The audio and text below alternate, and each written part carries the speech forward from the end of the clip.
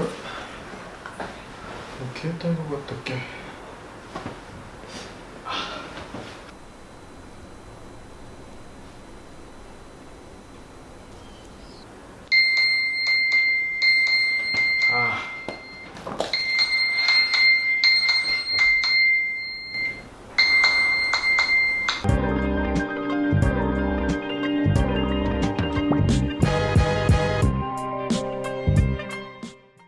さあということで今回はですね以前にね Xiaomi の、えー、Mi Band 2っていうのをねあの紹介したと思うんですよ。こちらの商品なんですけどでまあこれの機能がすごくいいっていうので紹介したんですけども今回はこれの新しいバージョンですね。Xiaomi の Mi Band 3っていうのがね出ているのでそちらの方を紹介したいと思います。こちらですね。見た目はねそこまでミーバンド2っていうのとあんまり変わらないんですよね。なんで実際にちょっとねどういうところが変わったんかっていうのをね見ていきたいと思います。いやほんまにちょっと最近ねこのスマートウォッチにはまりすぎてちょっと動画がなほんま全部スマートウォッチみたいな感じになってるけど他にもねあのいろんななんちゅうのいい商品とかあれば紹介していくんでこちらですね。で見た目ねあんまり変わってないんですよ。この 前のバージョン Xiaomi のこのえー、ミーバンド2ですね。このミーバンド2とあまり見た目はそこまで変わってなくてまあちょっとだけ大きさが大きくなったかなっていうぐらいですね。で開けていくとこっちか。こんな感じやな。これですね。こんな感じで縦の長さがね1センチ弱でかいですねこれ。でまあ付属でまあもちろんこういう風にねえー、バンドがついてくるんですけどもこのバンドもちょっとね大きめに作られてますね。おーいいね。入った入った入ったそこまでね見た目あんまり変わんないんですよね。ただでもディスプレイが大きい本当に。これ見てこれだいぶ違うくない？いや本当にこれね僕個人的な意見なんですけどもものすごいこれつきにくいんですよ。本当にねこうすんなりついてくれないというか僕ちゃんとあれですよ。穴のところに合わせてやってるんですよ。穴のところにちゃんと合わせてやってるのにもかかわらずなんか全然つかないんですよね。なんか好きじゃないんですよね個人的には。その他には、まあ、前と同様にねこう説明書ですね。まあ中国語ですけどね。中国語ですけど一応ついてますね。であ前と同じようなタイプですね。ちょっとだけ大きさも大きいんかな前のやつよりは。多分これ前のやつじゃつけへんと思うんやけどな。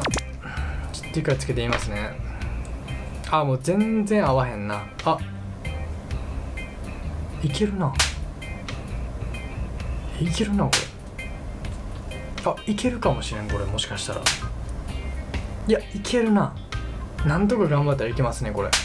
前のいや前のケーブルを使って今回の新しいやつは無理やと思うんですよ。どこ行ってこれか。これがえっ、ー、とミーバンド2のケーブルなんですけどもこれを使って新しいやつは無理やと。壊れたよな。今完全にな。バキバキっつったもんな。ちゃんとね新しいやつは、え、新しいやつで充電してください。古いやつは古いやつで充電してください。もう間違ってもね、えー、こう新しいやつを古いやつで充電したりとか古いやつを新しいやつで充電したりとかそういうことはねもう絶対しないでくださいね。まあ、こんな感じですね。充電の、えー、ケーブルは。もうぴったり合うように作られてますね。前の、えー、ミーバンド2のやつとはもう全然違うんでね。本当に火にもならないぐらい全然違うので、えー、ちゃんとねその辺は守ってください。ということでね実際にまあこれがねどういう感じで使えるのかとか新しい機能は何なのかとかねまあそういうことをねこれから紹介していきたいと思います。ということでね Xiaomi Band 3の紹介をしていきたいと思います。で実際にねまあ前回と Xiaomi Band 2と何が違うかっていうとそこまで基本的なものは変わってないんですけれども他にも細かいところがいっぱい変わった点があるのでそういう細かいところを実際に使って思った点をどんどんレビューしていこうと思います。まあく変わった面で言うとディスプレイの大きさが Xiaomi Band 2とは違って Xiaomi Band 2がだいたいディスプレイの大きさが約0.4インチに変わって今回の Xiaomi Band 3は、えー、ディスプレイの大きさが 0. 約0.8なので以前と比べて見やすくなったっていう点はあります。で他に大きな変更点があるとすればウォータープルーフ水に強くなったっていうのがありますね。でオフィシャルで公開されてる情報として、えー、水深約 50m よく時計とかの機能で表示されてる水深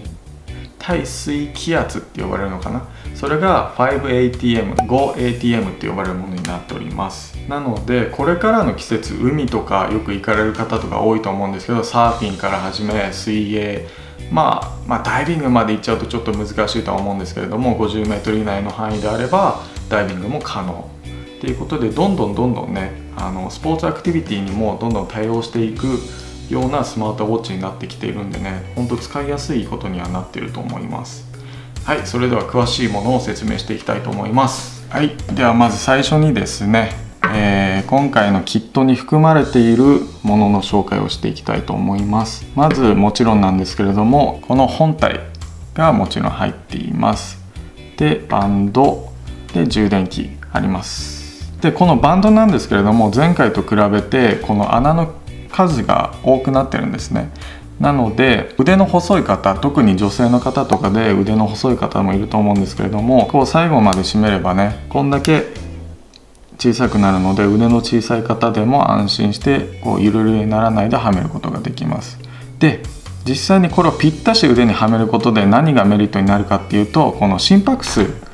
が測れるやつがあるんですけれどもそちらの方が正確に測れるようになります。なので心拍数を測る睡眠アクティビティを取るなどという時はちゃんとしっかり締めてやる方がおすすめです。でこの充電器なんですけれども、えーと、さっきヒロトがシャオミバンド2の充電器でもいけるんちゃうかみたいなこと言ってたんですけど実際はいけませんなのでちゃんとシャオミバンド3にはシャオミバンド3に合った充電器。シャオミバンド2にはシャオミバンド2に合った充電器を使用するのが、えー、マストというかもうそれを使ってください。でこのようにタッチ式なのは変わらないんですけれども見てもらいたいのがこの大きくなったディスプレイ。約0.8インチですね。Xiaomi Band 2に比べるとだいたい0.41サイズアップになっています。でディスプレイ自体がタッチできるようになったのでスライドしていってあげると表示したい情報が表示されるようになってきます。でまず一番のメインなんですけれどもこちら通知機能が詳しく表示されるようになったので実際に通知機能を見てもらいます。はい送りました。このように LINE であれば LINE 送信者通知内容受信時間が表示されるようになっています。でこの通知機能なんですけれどもこのように5つまでの通知であれば保存することができます。こう横にスライドしていくと表示がされています。でこの5つの通知なんですけれどもこれもこれを真ん中のところを長押しすることで削除することができます。で以前と比べて何がさらに使いやすくなったかっていうと細かい情報例えば天気予報など見ることができるようになりました。でこちらなんですけれども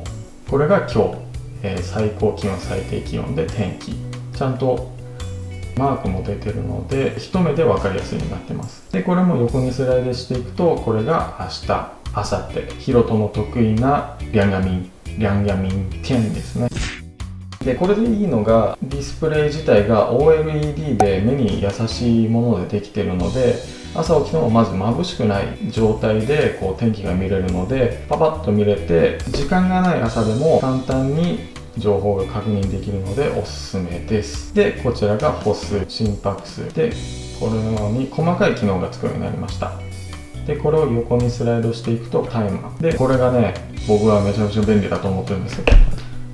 で何かをお見せいたします。これをこの画面の状態でこれを長押しすると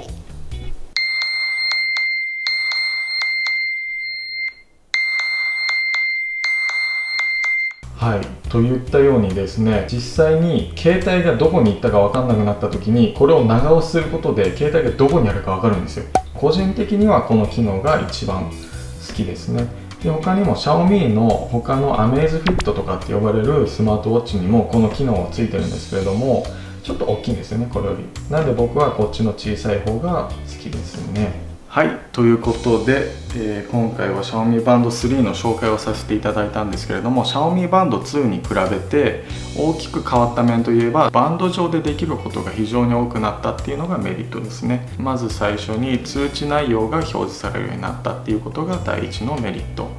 で次にえー、天気予報など細かい情報が表示されるようになって朝のスタートが早く効率化できるようになったのでとても便利だと思います。で他にも歩数とかそういう Xiaomi Band 2から引き継いだ基本的に便利な機能は残っているのでそちらの方もどんどん使用していくことができます。で僕が、えー、結構お気に入りの機能この携帯を探す機能っていうのが Xiaomi Band 3からついているのでこれも大変便利な機能になったかと思います。でバッテリーの面なんですけれどもこれまあ Xiaomi バンド2に比べるとやや若干スタンバイ時間が落ちて20日にはなってるんですけれどもそれでも大体まあフルで使用してても僕の場合15日ぐらいは全然持つんじゃないかなっていうのが体感